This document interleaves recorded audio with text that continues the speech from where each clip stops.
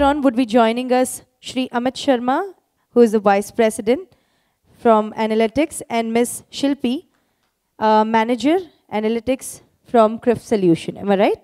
So a round of applause for all of them and let them continue with the presentation. Center of Excellence Lab for Analytics, and we work across India, Middle East, and Southeast Asia. Uh, what we would present is a concept which is called MAP. Uh, I would let the suspense be what MAP is. I don't know how much of you have heard about orienteering. Uh, it's an adventure sports where you use maps and you are given certain directions and you need to follow the same directions to reach the destination. Uh, it's an adventure sports game and uh, what we're going to present today is, uh, which is map, which is very similar, uh, at least from a decisioning standpoint. The flow that we would have for today's presentation is we're going to talk about what is there uh, available between traditional and alternate scorecards. Uh, we're going to talk about what the target segments are. I mean, CRIF over the last one and a half years have worked across 12 NBFCs and MFIs in India, more outside uh, in the Southeast Asian region. Uh, so we're going to talk about what target that we focus on. We're going to talk about some of the literature that we have reviewed and what it means, uh, which is uh, uh, an integral part of MAP. Uh, talk about the methodology, which is also linked to item selection and what it means. And finally, we would get, get into a decision framework. I mean, automation is a part that comes once you know what to automate. So uh, this is the what of the automation, and we're going to talk about some decision, and then eventually we're going to show you a small demo of what we have. Uh, Amit would talk about in terms of what is there on the traditional and the alternate space. Uh, Shilpi would take over on the target segment, literature review and item selection, which is the methodology of one of the components of MAP. And then Amit would complete from the decision framework and final quiz standpoint. Thank you. Okay. Hi everyone, a very good afternoon. I generally start my presentations with a simple question. How are you guys doing? Good? Okay. So like Atri mentioned, uh, this will be the workflow. Uh, I could notice that the next topic on the panel is integration of uh, traditional data for data symmetry between lenders and borrowers. So we'll talk about traditional data, why we love it, what kind of solutions are available from traditional data. We'll also go into newer techniques of how can we explore further dimensions with alternate data and what are the avenues available to us in alternate data. So I, with that, I'll start with traditional data. These are our traditional databases that a bank, NBFC, or a bureau stores with them. So long histories of data, and basis that we can create application scorecards, bureau scorecards, behavior scorecards, or collection scorecards, or all that gambit of scorecards that you can think about. Uh, why do we specifically love them? So uh, can we have the next bullet, please? So these have been tried, tested over time. From, from I think 50s or 60s, we have been watching models and scorecards coming into action, help the lending institutions take a decision whether to approve this customer or reject this customer. So it makes life simpler, uh, it uh, aids automation, everything becomes more efficient and faster.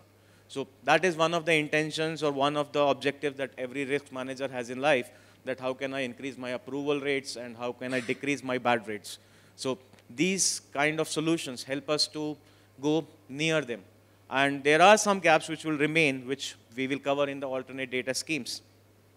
Uh, other reasons that we love these traditional data sources and the solutions that are created out of them is that they have very powerful distinction it can divide the entire data into a black and white segment. There will be some grays always, which always keeps our, uh, keep us, uh, our head scratching. But these distinctions, when we talk about the Gini of the model, Gini of the model is a gold standard that how powerful the distinction can be brought into a bad customer. When we say bad, say for example, a 90 plus customer in the first 12 months of your loan, he is a bad customer. If a customer has always been paying in the first 12 months, you like to call him a good customer. Uh, very easy to understand when you get a scorecard, it will be simple. If age is less than 25, then high risk. If age between 25 and 35, medium risk. And if age higher than 35, maybe a low risk. So you get some 8, 9 variables, easy to understand. They have their bins and they have their scores within them. So it becomes even, you don't share this with sales, by the way, because you like to keep all the secret recipes to you so that sales cannot go and do some fraud, extra fraud on top of whatever fraud happens. So with that, uh, let's see what are the gaps here and what can alternate data fill into this space. So these are AI-based solutions or all other data that gets captured into the system today. So every single touch base that you have, so whether you touch your mobile once or whether you're roaming around with your mobile in your pocket, then also data is getting collected somewhere. Somebody is collecting that. So these are artificial intelligence powered solutions or maybe some alternate uh, form of data like a psychometric score. So psychometrics, you ask the customer to fill up a quiz in behalf, uh, in, in, instead of collecting some data from a, a, bureau or collecting data from a company like a Facebook or a Twitter or a LinkedIn, you will ask the customer that, okay, why don't you give me your data? And I will process this data and maybe come up with some decisioning. So some examples of these uh, data sets will be that a telecom score, or a utility score. So how are you paying well? Uh, in modern countries, they even track, uh, keep a track of the rent that you pay. So any scores that come out of this regular payment that you can do. And late, latest is the social score. Any photos that you like, how many times you like, which kind of circles do you stay in on Google Plus or uh, even on LinkedIn, that how stable have you been in your job, how often are you shifting your job. All this leads to some kind of incremental value added to customers who don't have too much information on them. And we were talking about financial inclusion earlier. We were talking about the unbanked population. Now, they don't have any other sources or footprints of data anywhere present. So you cater or you try to leverage, leverage whatever possible data you can get hands on. Now, talking about this particular micro industry, you don't expect them to be on Facebook really. So you will like or you will not even find them on LinkedIn or any other data sources, whether structured or unstructured. You will like, uh, okay, uh, what are the avenues that I can ask this guy to give me some uh, information which I can now process and take a well-informed decision. We were talking about well-informed decisions earlier. How can my decision making be better than what I am having today? So these, what are the, just, just of one moment. So where do they help us? So any customer who is new to credit, who is unbanked, who has very thin files on the bureau, only one loan, maybe three months down the line, so you cannot actually comment on him, something like that. Uh, emerging bureaus where you don't have bureaus existing in a country, and uh, social scores if they don't have, if they are, if you are not given access to social scores, then then also this data can be leveraged. So with that, are they foolproof? Uh, are there possibilities where they have gaps? So let's see what are the gaps of these two data mechanisms. Traditional data sources cannot be applied to customers who have thin files, where you have startups, you have new fintechs coming up day by day. Uh, we have like more than 1,000 fintechs now in the country, but uh, what they don't have is the data on the customers. They are just very, very new. They want some decisioning methodology embedded into their system right now so that they can underwrite their customers better. So this cannot be catered right now by traditional data because you need long histories, say 18 to 24 months of data, either on a bureau or either on your own books so that you can evaluate this customer. If you don't have a presence of a bureau, you don't have any, uh, uh, say, long histories of customers, then also these uh, solutions will not work. Talking about alternate data, uh, alternate data, it sounds very fancy and it is a term that has caught up with population nowadays, but it also has its own limitations that these are evolving sciences. Every single day you hear a new topic coming up and it says, okay, the previous is, this is better than previous one, previous one has limitations. Uh, we still need to measure how correlated is this to risk. So somebody comes up and says some fine day that, okay, I have created this score based on a LinkedIn profile. But you really need to see whether this actually has a long-term correlation with risk. So data on bureaus have proven that it is very strong predictor of risk. If I see your payment behavior, repayment history. But my LinkedIn profile not necessarily might be the best correlator of risk in the future.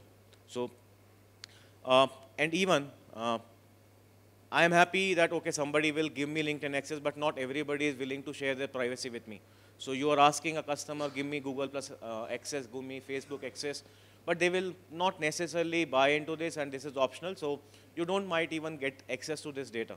So these are some limitations which both the traditional and alternate data sources have.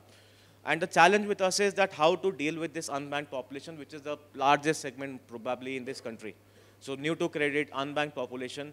So can there be a mechanism which will help us to underwrite this layer better in, uh, in top of or on top of whatever we have existing currently? So with that, I will say that uh, let's enter into the world of this new to credit customers and what are the possible options that we can explore here. So with, I'll hand over to Shilpi here, which will take us through the details of how we can handle these things. Thank you, Amit. Um, so, as Amit mentioned, that uh, there are various things which are coming in the market uh, for alternate scoring. Um, social, mobile data, psychometrics. Uh, here, today, we are focusing on psychometric. And the target that we have defined for this scope is the new to credit base. Uh, the primary reasons for doing that was that um, there's very little information available for this base. There was uh, very strong feedback from the clients that we have worked with, where there was a strong need of having a scoring engine which can help them map credit risk for this base. And uh, in the session before, um, most of the dignitaries also mentioned that uh, there's strong focus on the unbanked customer base. So uh, all of this together really echoes the need of having something which can help us map risk for this base. Uh, now, when we say new to credit, the way we have defined it is, uh, um, so who are they? They are uh, basically individuals with no prior line of credit or thin line. Uh, for this scope, uh, they would be primarily urban youth in the age group of 18 to 35. Um, they'd be probably new to job. Um, they'd be looking out for small retail loans and uh, small ticket size retail loans, and they could be salaried or self-employed. So if this is the kind of customer base that you are writing today, this could be an alternate scoring engine that you can use for mapping risk for such customers. Um, so let me take a moment and describe to everyone what psychometrics is all about. Um, psychometric tests are designed to measure the suitability of a candidate for a particular role. Now, uh, such tests have been used in different domains uh, to assess if a candidate is suitable for a particular job role, to assess if a candidate is uh, more applicable to what kind of an industry, and it has also been used for credit scoring for a very, very long time. Uh, there are a lot of very nice case studies. For example, in Peru, there was no credit bureau, and they use psychometric score for assessing credit risk. Um, so um, in general, a brief background about psychometrics was that. Then while designing this product, uh, we engaged, so there was a long phase of literature review where we engaged with loan officers, uh, where we discussed with them and took their feedback uh, so that we can understand what was the, um, the kind of personalities that they envisioned their customers were likely to pay back in time or the ones who would probably not pay in time. And uh, the top three feedbacks that we received were that uh, individuals who are not able to manage their funds properly could be one of the customers who are not able to pay back in time. Uh, there are individuals who just procrastinate uh, they're not disciplined. So they feel that they will pay when the deadline is coming very nearer, but then eventually they may forget. Um, so individuals with better organization skills, uh, with better discipline, could pay well, uh, could pay in time, versus the ones who are not that disciplined. Um, customers with lack of awareness um, and you know not being compliant and not having trust in the bank could also be categorized as a set of individuals who would probably not, again, meet their debts in time. Um, so we did have multiple round of engagements with certain loan officers and took their feedback and their experience in, this, in framing this uh, whole framework. Then, as a next stage, we collaborated with a psychometric expert. Um, so, with the help of the psychometric expert and the study that we were doing, psychometric in general can be divided into two things. Uh, one is the type of scales. Uh, so as shown here, there are multiple type of scales. We explored these seven. Uh, I'll just take a moment to explain one or two of them. So scales essentially imply the type of question and the answer response that an individual can give. Um, now, in strongly agree to disagree, for example, the question is framed in such a way that an individual can reply either as strongly agree, agree, disagree, or strongly disagree as their response. Okay? Um, in situational, for example, um, the question is framed in such a way that a situation is being shown and the individual would have a couple of options to choose as how an individual would react to such a situation. Now, each of these scales have different benefits and uh, you know, pros and cons. So, and usually you would see that in most of the psychometric tests, uh, they use only one type of scale. Um, so what CRIF did differently was we explored different scales, and eventually in our final test, we are using four scales. Uh, at the end of the day, it was all very mathematical and hence doable. Usage of multiple scale has enabled us to gather better information and to ask better questions, which is the paradigm of this whole framework. Um, the second layer of psychometric is the type of tests are also called dimensions. Um, I'm not sure if anybody has ever taken a personality test before. Is there anyone? No. Okay.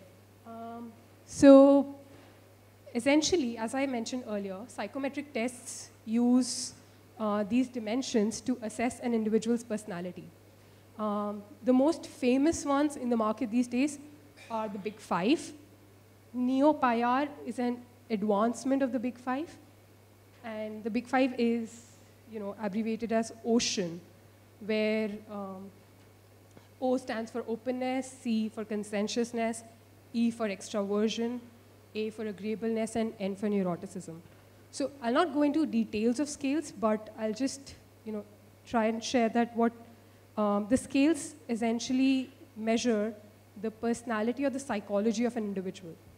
Neuroticism, for example, measures the emotional stability of an individual, right? Um, agreeableness, for example, measures the trust and the compatibility and the compliance of an individual. So these are the personality traits which can be assessed in an individual to frame their possibility, and we took only the ones which are correlated with credit risk. Um, so we did literature review on the ones which are used in the market, then the ones which were shared to us by the loan officers, and also by the psychometric expert. And together, a very extensive study review was done, and only the ones which were correlated with credit risk were chosen. Um, as the next step, uh, what we did, we formulated questions for these dimensions across the scales.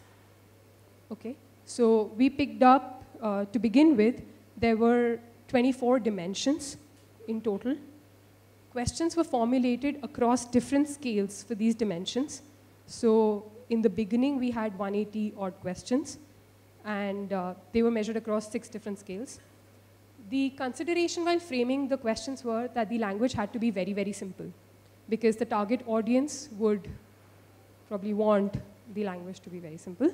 Uh, they had to be short in length so that it doesn't take a lot of time to answer, because if somebody is coming to take a loan, you would want them to not you know, put in a lot of time in giving a test. And at max, it should have two to four answer options. So this was stage one, uh, where it was all about item writing. Um, we refer questions to as items. Um, next stage was we looked at the distribution of responses.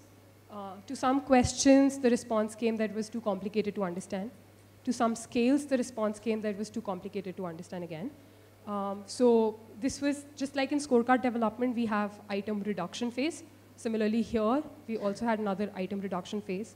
And eventually in stage two, we brought down the number of dimensions and questions.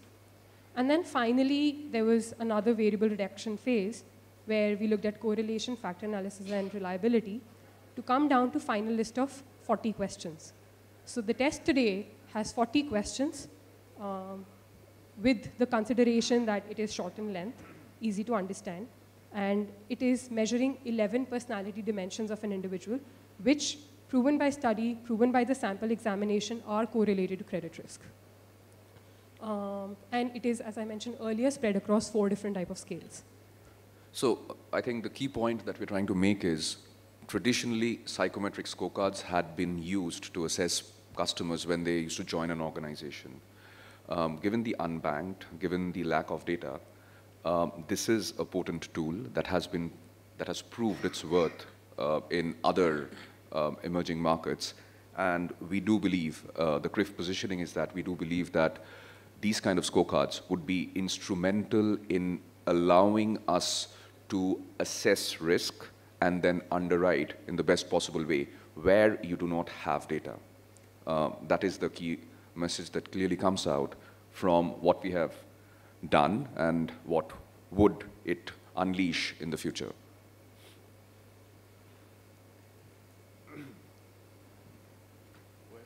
Okay. Uh, so this is the final outlook. The test would be available on tablets, on mobile phones, and for laptops and monitors. Um, the, some of the dimensions which have seen coming in the final 40 questions are traits like honesty, discipline, responsibility, social desirability, and so on. Um, all the questions have been represented in a very gamified environment so that the customer doesn't feel bored when he's giving the test. There's animation, there's reward points, and um, the questions and the answer options together uh, have both the text and the image.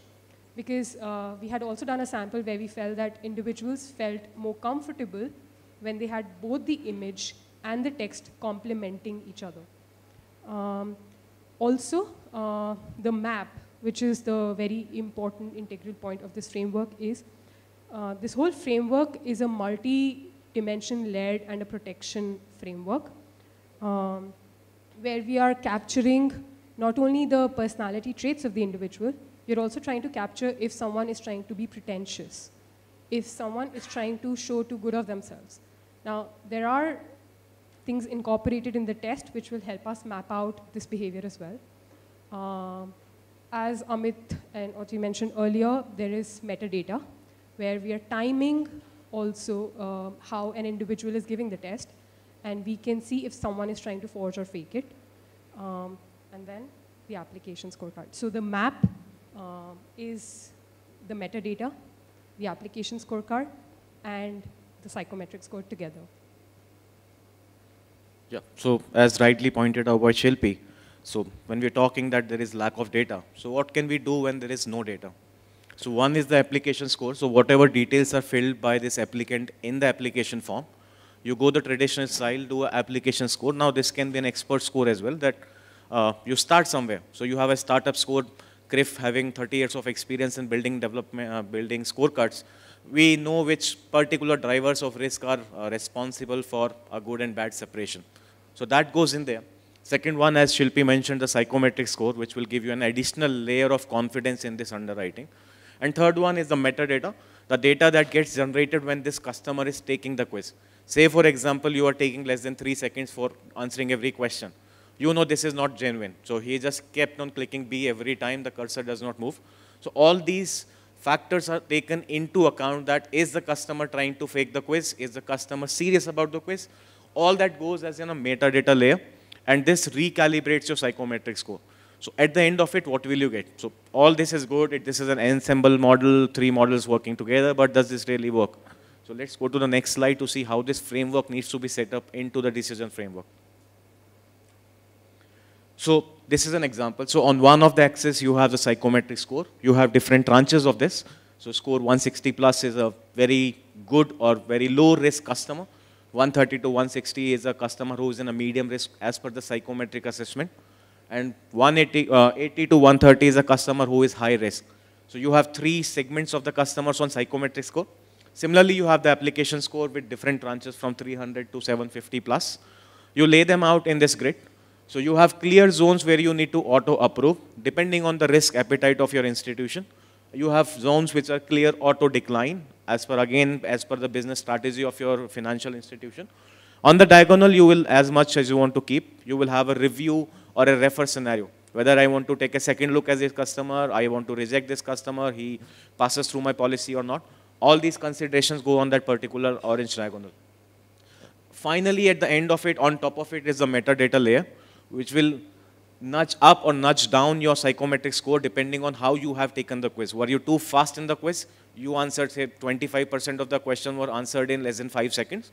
You need to read a question, read the responses. So genuinely, it takes around more than 10 to 15 seconds to answer at least one question.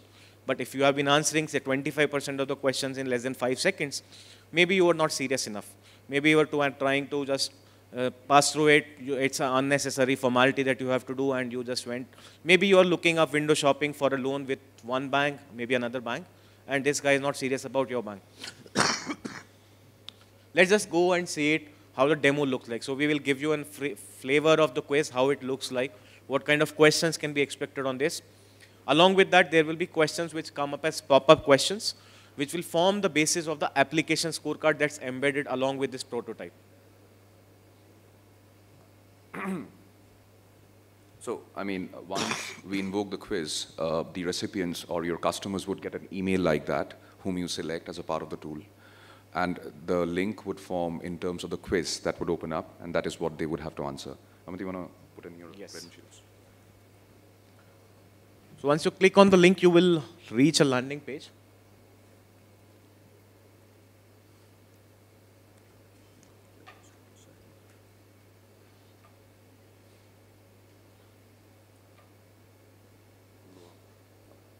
So this is the landing page a customer goes to once he clicks on the link. You enter your mobile number here.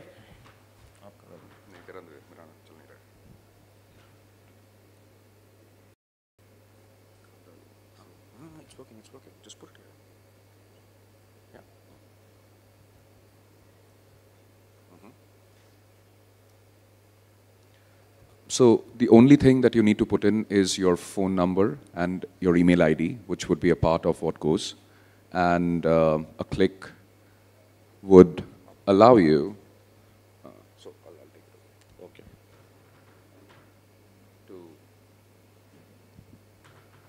So it will, uh, because the details have been fed in with my name along with it and my application number. So it addresses you with name. It says welcome.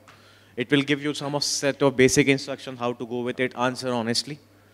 This is the first format, what Shilpi was talking about, the different scales. So this is an acceptable, unacceptable one format. So X is a famous footballer who is given dollar 1 million to advertise a product which he really dislikes and he would never use. For you, how much uh, acceptable or unacceptable is this situation? So anybody will like to volunteer to give an answer so that we can proceed. Anyone, please. Completely disagreed? Okay, let's select. so, unacceptable. You select, there's a pop-up which comes, you move on. We are moving to a second uh, format, which is picture frustration. So there is a dialogue going on between two people. A trophy has been broken, so he is saying, this was a trophy that I won in my school competition. The guy who's standing up is giving the following four responses. You have to choose one of the responses. So one option is, I'm sorry, I apologize sorry, it just happened by an accident. Now it cannot be put back again. No point feeling bad about it. Why do you keep such delicate things around here? Anyone? I am sorry, I apologize. Okay. So these are the pop-up questions that I was talking about earlier. So the background quiz is psychometric scoring. The one that you see here, we are asking about age, number of dependents. This will go and form an application score for the same customer. Now we are going into the third format. So you, you're going to your college uh, and you just rammed into a uh, bus. So depending on that, you're sitting in the bus, what will be your situation, uh, reaction to this situation? You'll call a police ambulance and leave for college. You leave for college, it's not because of your mistake. You will take the motorcyclist to the hospital. You will call the police or ambulance and wait till they arrive. Number four. Uh, suppose you are a traffic police officer, your colleague catches your son and his friend drunk driving, you would do what? Ask your colleague to, to let them off as nobody is hurt. Let the law take its own course. Try and put the blame more on the friend because he was driving. Punish both of them in private. Number two? Okay. Uh, one thing that I would want to clarify is that when you're giving a test like this, when you seek a loan, you might also want to game the kind of questions.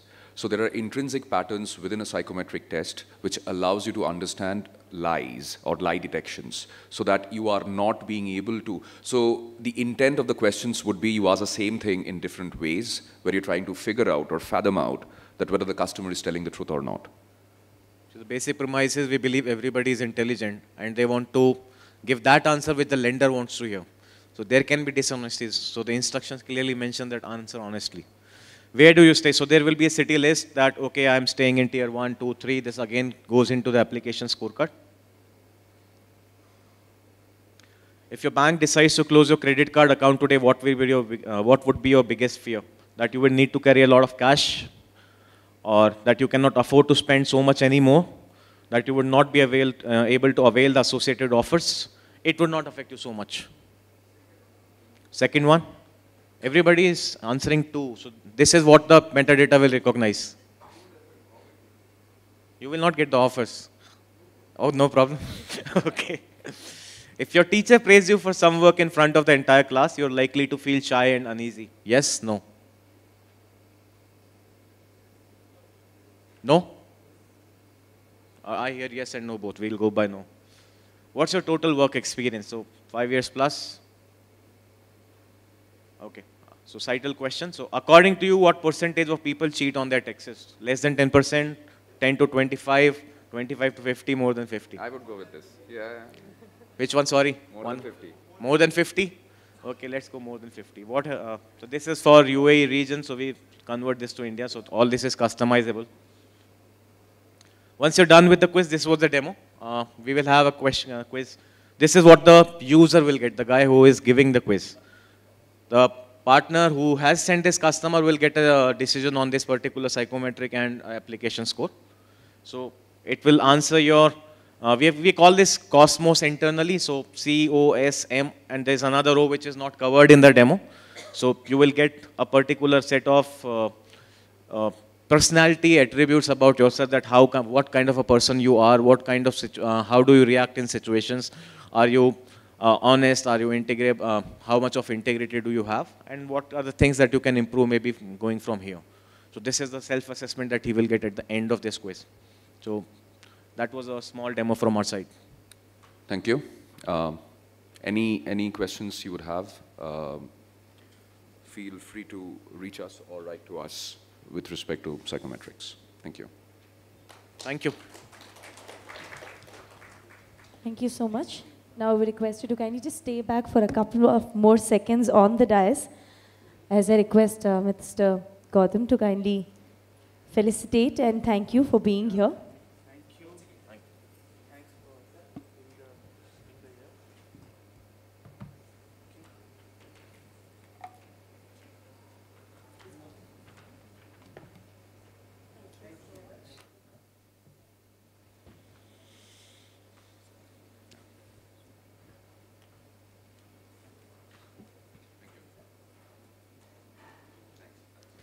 Thank you so much, we